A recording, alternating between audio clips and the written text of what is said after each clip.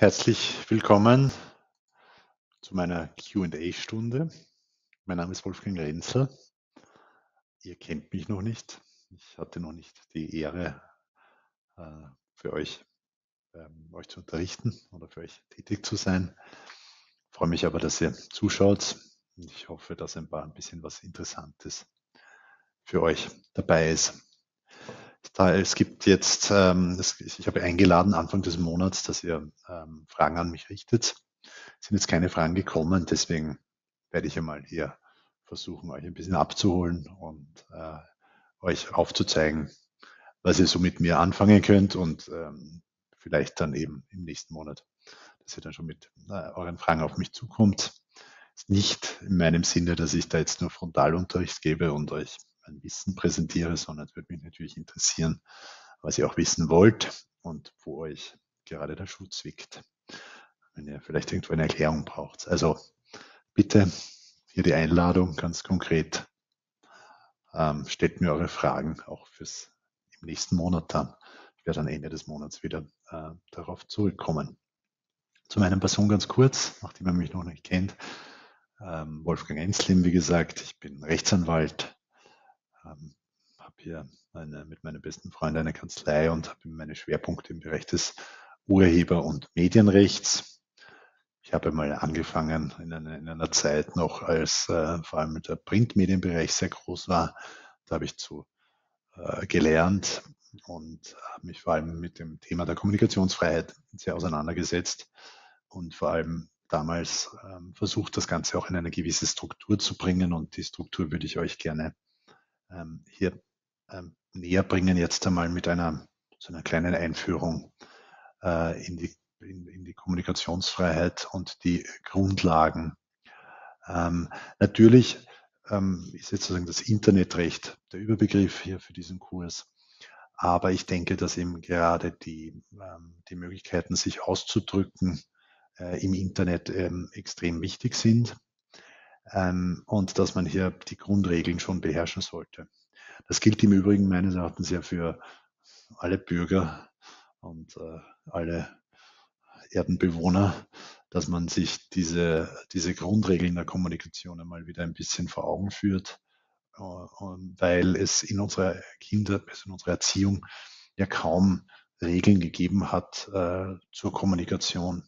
Das war damals auch nicht so problematisch, weil wir natürlich nicht alle über Social Media kommuniziert haben und nicht für die Ewigkeit kommuniziert haben, nicht alles ewig abspeicherbar war, sondern war, sondern es, man hat äh, ein Wort gesprochen, es ist in die Welt getreten und war dann auch schon wieder weg.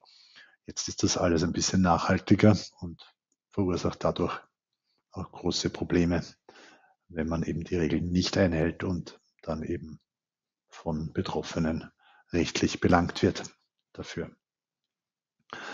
Ähm, was waren das für Regeln früher zur Kommunikation, die man gelernt hat? Ähm, zum Beispiel, du darfst nicht lügen, was ich mir erinnern kann. Als Kind hört man das wahrscheinlich. In Wirklichkeit erlebt man die ganzen Erwachsenen Lügen tagtäglich. Ich glaube, es gibt Studien bis zu 200 Mal am Tag äh, und es passiert auch nichts. Aber das Lügen als menschliches Handwerkszeug ist also in der Kommunikation weit verbreitet. Aber ähm, man soll nicht lügen. Das hört man als Kind. Ähm, wahrscheinlich soll man, hört man vielleicht auch manchmal, red nicht schlecht über jemanden hinterrücks. Auch das wäre so eine Kommunikationsregel, die auch wiederum äh, selten oder, oder relativ schnell und relativ oft dann gebrochen wurde. Ähm, sonst Kommunikationsregeln. Ich lade euch ein, da mitzumachen. Was werden noch Kommunikationsregeln? Die Beschränkungen der Kommunikation, Versuche der Kanalisierung der Kommunikation durch Moral, Recht, ja, durch die Religion wahrscheinlich gab es auch einige Kommunikationsregeln, wie zum Beispiel, man soll nicht wahrscheinlich das Kreuz ehren oder die, ähm, weiß nicht, religiöse, also den, den weiß nicht, ob man auch den Hut abnimmt, wenn man in die Kirche geht. Das sind alles so Zeichen äh, und, und, und Formen der Kommunikation letztendlich.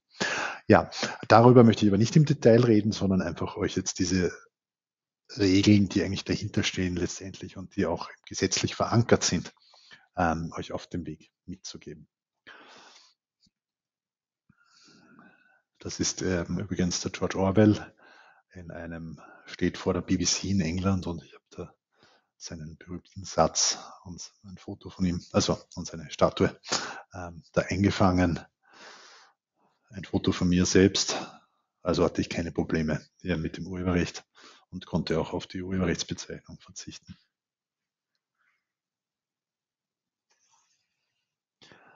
Jetzt könnte ich anfangen, euch zu beschimpfen. So steht ja auch in meinem Titel. Ihr lieben Zuhörer, ich finde, ihr seid alle dumm. Das ist jetzt die Freiheit der Meinungsäußerung. Ne? Ich darf euch beschimpfen, ähm, weil ich habe Anspruch auf freie Meinungsäußerung. Gleich kleiner Disclaimer bitte, war nicht ernst gemeint, ist eine Bühnen- oder Scherzerklärung hier von meiner Seite. Also zählt nicht. Ja, aber ich habe euch als dumm bezeichnet, weil ich der Meinung bin, dass ihr dumm seid. Das ist mein Anspruch auf freie Meinungsäußerung. So wird das heutzutage oft präsentiert und gelebt. Man kann sagen, was man will und sagt, hm, ich habe doch meine freie Meinungsäußerung, das ist im Artikel 10 Absatz 1 MRK so festgeschrieben und äh, jeder muss das ertragen, was ich gerade so von mir gebe oder von mir kotze. Jedoch vergisst dieser jemand, dass es auch einen Artikel 2 MRK gibt, der nämlich besagt, dass diese, die Ausübung dieser Freiheiten auch Pflichten und Verantwortung mit sich bringt. Das ist übrigens einer meiner, einer wunderbarsten Gesetzespassagen. Wirklich ganz, ganz ein wichtiger Gedanke. Wenn ich wo partizip mitmache bei einer Grundfreiheit, dann habe ich nicht nur Rechte, sondern auch Pflichten und eine Verantwortung. Ja, das sollten sich manche Boulevardmedien in Österreich, Österreich unter Anführungszeichen, ähm, natürlich besonders ähm, noch einmal vor Augen führen. Es geht nicht nur darum, dass man frei Blödsinn verbreitet, sondern dass man auch Verantwortung übernimmt für das, was man kommuniziert. Und nur dann habe ich auch Freiheiten. Und deswegen, weil es eben Pflichten und Verantwortungen mit sich bringt, kann der Gesetzgeber auch Einschränkungen vorsehen, wenn sie für den Schutz des guten Rufes oder der, der Rechte anderer unentbehrlich sind. Deswegen ja, gibt es also Paragraphen, zum Beispiel in Paragraphen 111 StGB. Da steht drinnen, ich darf äh, über niemanden was Falsches behaupten, Tatsachen, falsche Tatsachen behaupten, im Wesentlichen üble Nachrede. In Paragraph 115 StGB steht drinnen, ich darf niemanden beleidigen, also grundlos in, ähm, ähm, ähm, beschimpfen. Ähm, das ist genau das, was ich vorher gemacht habe. Deswegen es gibt das Grundrecht, das wirkt so zusammen. Na, ich habe Anspruch auf meine freie Meinungsäußerung und aber es gibt dann die Einschränkung eben Paragraph 115 StGB. Der ist wunderbar vertragskonform. Ich darf euch ihm, äh, also konventionskonform meinte ich und verfassungskonform.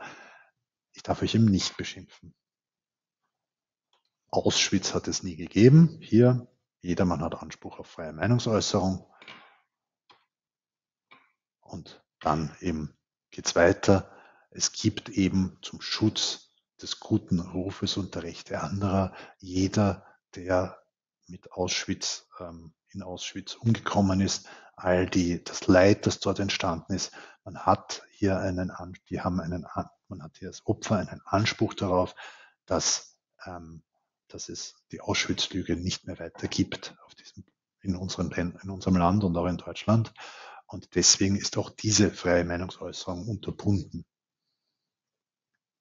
Natürlich ein heikles Terrain, aber also das ist ganz klar eben für zum Schutz des guten Rufes oder der Rechte anderer ist das eben unterbunden.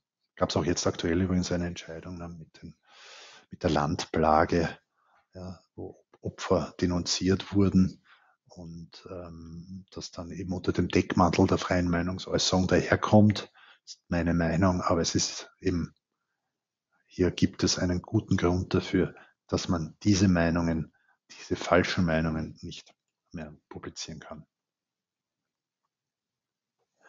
Was trifft hier interessanterweise immer aufeinander und was ist auch zugleich das Problem von Fake News? Wenn ich behaupte, dass Hitler nach wie vor lebt, wenn ich behaupte, dass Elvis Presley nach wie vor lebt, dann habe ich eine Meinung. Oder wenn ich behaupte zum Beispiel, dass äh, Corona-Impfungen ähm, den Körper angreifen, dann habe ich eine Meinung. Die Meinung ist total frei und die Meinung geht ins Unendliche, weil ich kann hier, es gibt kein Korrektiv, nichts, was gegen meine Meinung drückt.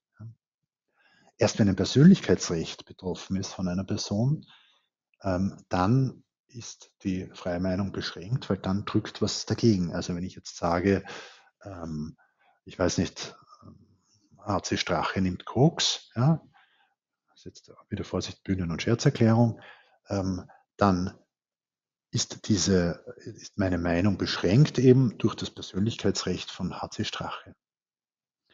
Ähm, erst wenn es auf sozusagen auf einen, Gegen, einen Gegendruck trifft, ist meine Meinung beschränkt. Und das ist zugleich auch dieses Problem mit, dem, mit den Fake News, das wir jetzt haben, ähm, dass es eben kein Korrektiv gibt. Jeder kann, jeder kann sagen, was er will, solange er nicht in ein Persönlichkeitsrecht eingreift, solange er nicht verhetzt. Das sind dann die sozusagen die Gruppenpersönlichkeitsrechte, wenn man so will.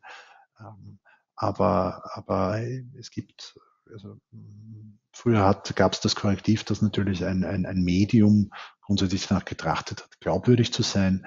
Aber von diesem Zustand sind wir weit weg und somit kann jeder alles behaupten, solange eben niemanden sein Persönlichkeitsrecht verletzt. Was sind das jetzt für kommunikative Persönlichkeitsrechte, die da betroffen sein können? Das ist natürlich jetzt bei der Beschimpfung ganz klar, eure Ehre war das, die da betroffen war, eure Würde. Ähm, es gibt aber auch andere kommunikative Persönlichkeitsrechte, wie zum Beispiel Privatsphäre. Ne? Ob jemand abgetrieben hat, ob er krank ist oder nicht, das geht uns alles nichts an, weil das der Privat- und der Geheimsphäre des Menschen zugehört. Es gibt auch das Recht am eigenen Bild, dass nicht mein Bild in, in einem falschen Zusammenhang zum Beispiel gebracht wird. Recht am eigenen Namen, dass nicht jemand anderes sich als, als, auch meine Person ausgibt. Äh, Brief- und Tagebuchschutz, das sind alles, ich darf nicht aus einem Brief zitieren, wenn das, wenn das, vor allem wenn es dann wieder das Recht auf Privat- und Geheimsphäre betrifft, äh, und auch das aus dem Tagebuch. Ähm, ich darf nicht falsch behaupten, Urheberpersönlichkeitsrechte ähm, ich darf nicht falsch behaupten, dass ich der Autor eines Werkes bin, obwohl ich es gar nicht bin, oder ich der ähm, Erfinder eines Patentes, obwohl es gar nicht äh, von mir stammt.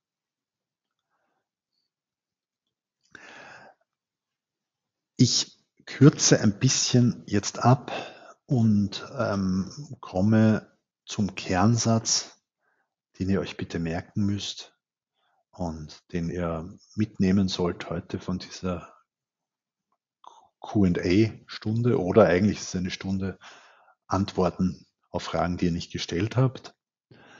Tatsachen müssen wahr sein, Wertungen auf wahren Tatsachen beruhen und diese Wertungen dürfen nicht exzessiv sein. Das ist der Grundsatz der Kommunikation.